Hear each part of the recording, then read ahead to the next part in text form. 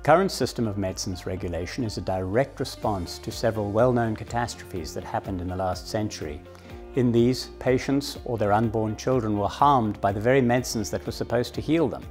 As a consequence, medicines regulatory agencies license medicines on the basis of data that prove the quality, the safety and the efficacy of each product.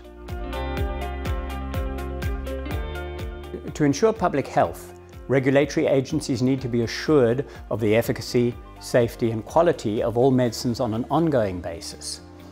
To do this, they gather comprehensive data about all licensed medicines.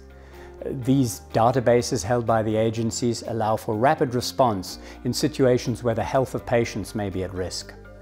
For example, in July 2019, tests revealed that certain well-known blood pressure and heart medications contained a cancer-causing impurity.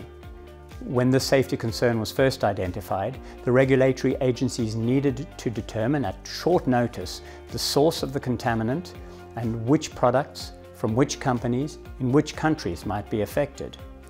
Because they were able to do this from the data that they held, the drug companies were able to recall the affected products within a matter of days.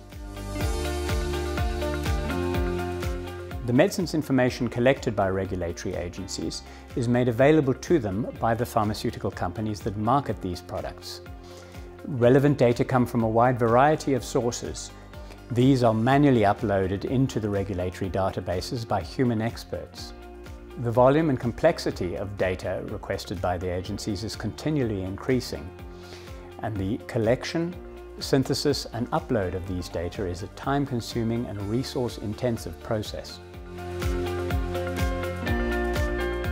For this project, we developed a tool that uses natural language processing uh, to extract relevant data from multiple different sources in multiple different languages about medicinal products of particular public health interest.